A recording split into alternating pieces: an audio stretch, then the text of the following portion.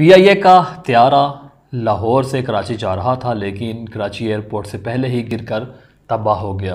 आज हम इस बारे में कानूनी रहनुमाई जानेंगे तो इसके लिए ये वीडियो पूरी देखिएगा। ये वीडियो सिर्फ़ मालूम के लिए है और ये कानूनी मशवरे का मुतबादिल नहीं है। इस वीडियो के मदरजात एक सवाल का अहम जवाब है और हम आपको हमारी वेबसाइट मोबाइल और व्हाट्सएप या फ़ोन के ज़रिए अपना सवाल पूछने की तजवीज़ करते हैं।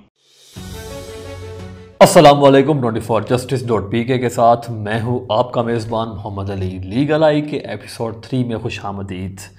लीगल आई के तमाम एपिसोड्स को आप सबकी जानब से बहुत सराहा जा रहा है, बहुत पसंद किया जा रहा है, जिसके हम बेहद मशहूर हैं। लीगल आई के नए एपिसोड्स आने में कुछ देरी हो जाती है। जिसकी वजह यह है कि हमारा मकसद आप तक तमाम हकाई को पूरी तरह से पहुंचाना है। एक बहुत ही अफसोसनाक वाक़ पेश आया है कि ईद से कुछ दिन पहले एक त्यारा जो कि लाहौर से जा रहा था कराची, जिसके अंदर 99 अफराद थे, सौ के करीब अफराद शामिल थे, ईद की खुशियाँ मनाने के लिए अपने प्यारों के साथ। लेकिन वो कराची के एयरपोर्ट पर लैंड ना कर सके अपने प्यारों के साथ ईद की खुशियाँ ना मना सके। Flight P K eight three zero three Lahore से कराची जा रही थी, लेकिन कराची एयरपोर्ट से कुछ दूरी पहले जिना एयरपोर्ट से कुछ देर पहले जिनाह गार्डन में गिरकर तबाह हो गया। इसकी वजह ये बनी कि जहाज़ के दोनों इंजन फेल हो चुके थे। जहाज़ का टायर नहीं खुल रहा था, जिसके बायस निन्यानवे अफराद, सौ के करीब अफराद जाँ भाग हो गए और इसके अंदर आठ अफराद जो कि पी आई ए के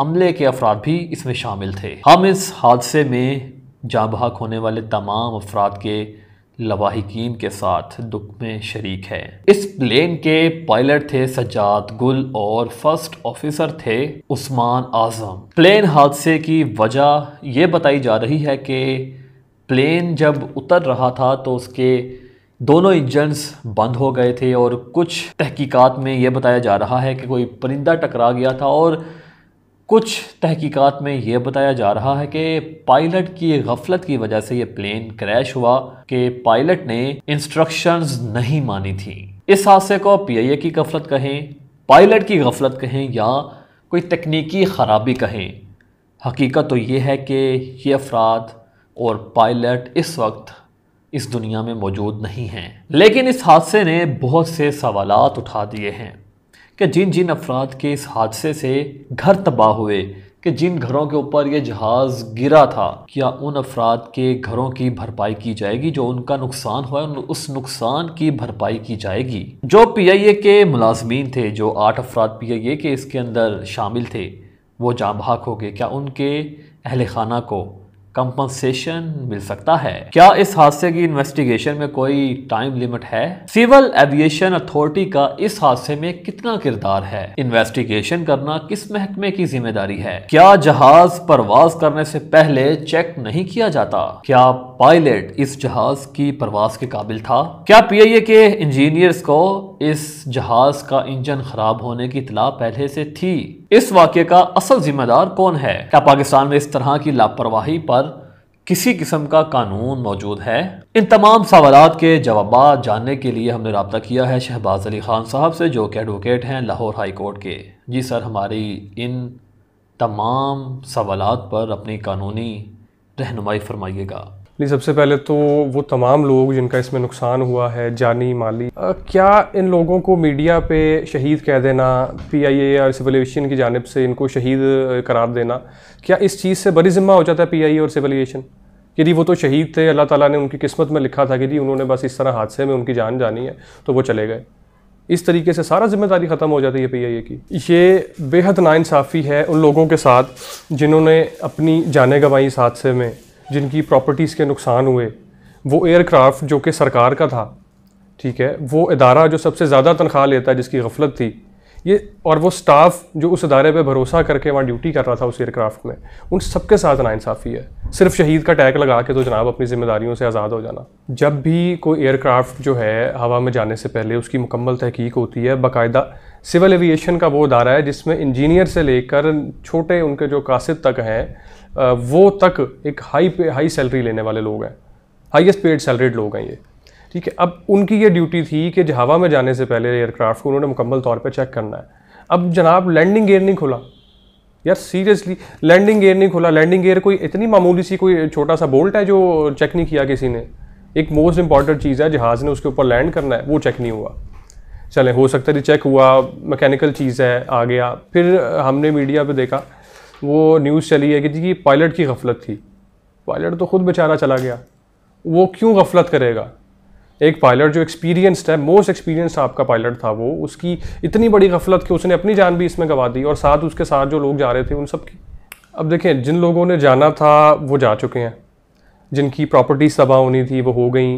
मामला मीडिया पे दो तीन दिन बहुत उछला है, उसके बाद फिर एकदम से बैठ गया। अब उन लोगों के लिए क्या रेमेडीज़ रह गई, जो लोग, जिन लोगों का इसमें नुकसान हुआ, जानी और माली? अब सबसे पहले आप देखें कि जो लोग इसमें सवार थे, उन्होंने आपको टिकट्स के पैसे दिए। बहुत महँगे टिकट्स ख़रीदे उन्होंने आपके साथ आपके ऊपर भरोसा किया, आपके साथ सफ़र किया, और आपने उनके साथ क्या किया? उन लोगों की बॉडीज़ तक नहीं मिली हैं किसी की।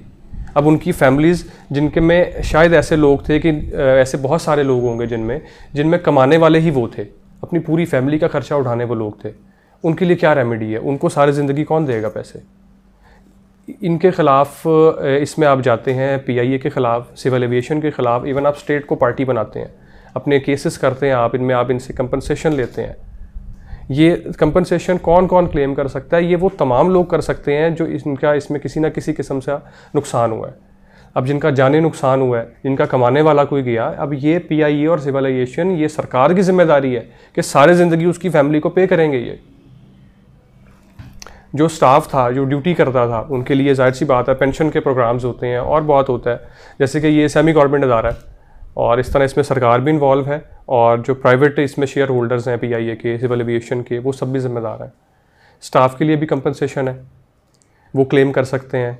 जिनके घरों का नुकसान हुआ है, वो नुकसान के साथ साथ डैमेजेस मज़ीद क्लेम कर सकते हैं। फिर जिन लोगों का जाने नुकसान हुआ, ज़ाहिर सी बात है, वो तो क्लेमेंट्स ऑटोमेटिकली हैं। उनको ज़रूरत भी नहीं है क्लेम करने की। ये तो ज़िम्मेदारी सिविल एविएशन की है। लेकिन जस्ट इन केस अगर वो नहीं करते सिविल एविएशन हो गए पीआई हो गया या स्टेट हो गया, वो किसी दो दिन मामला उछलने के बाद डेड हो गया, अब वो उनके किसी किस्म की कंपनसेशन नहीं पे करते तो वो बेशक कोर्ट्स में जा सकते हैं। ये सिर्फ़ डिपार्टमेंटल इशू नहीं है कि आप पी आई के ख़िलाफ़ जाके वहाँ पे धक्के खा रहे हैं, उनके ऑफ़िस में, ऐसा नहीं है। आप अदालतों से रुजू कर सकते हैं। अदालतें आपको आपका इंसाफ लेके देंगी। पीआईए से सिविल एविएशन से इवन सरकार से। बहुत बहुत शुक्रिया शहबाज अली खान साहब, और हम उम्मीद करते हैं कि आपको भी आपके तमाम सवाल के जवाब मिल चुके होंगे। और ये था लीगल आई का एपिसोड थ्री। लीगल आई के नेक्स्ट एपिसोड भी बहुत जल्द आएगा, जिसके लिए हमारे साथ रहिएगा। और अगर आपके माइंड में कोई भी सवाल है तो आप उसको कमेंट बॉक्स में हमसे पूछ सकते हैं। और अगर आप किसी किस्म के कानूनी मसले में शिकार हैं मुबतला हैं तो twenty four justice dot P K आपके लिए ही है। आपने सिर्फ़ एक फ़ोन कॉल करनी है, या आप twenty four justice dot P K से व्हाट्सएप पर भी रबता कर सकते हैं। मजीद मालूम के लिए twenty four justice dot P K की वेबसाइट पर विज़िट करें और twenty four justice dot P K की ऐप गूगल प्ले स्टोर से और आई स्टोर से डाउनलोड करें। इसके साथ साथ हमारा यूट्यूब चैनल सब्सक्राइब करें और हमें फेसबुक इंस्टाग्राम और ट्विटर पर भी फॉलो करें ताकि आने वाली तमाम वीडियोस के नोटिफिकेशंस आपको आसानी बर वक्त मिल सकें। अपने मेज़बान मोहम्मद अली को इजाज़त दीजिए, अल्लाह हाफिज़। अगर आपको ये वीडियो पसंद आई है तो लाइक कीजिए, सब्सक्राइब कीजिए और साथ में बेल आइकॉन पर क्लिक कीजिए। मजीद किसी भी सवाल के लिए कमेंट कीजिए और अपने दोस्तों के साथ शेयर करना मत भूलिए।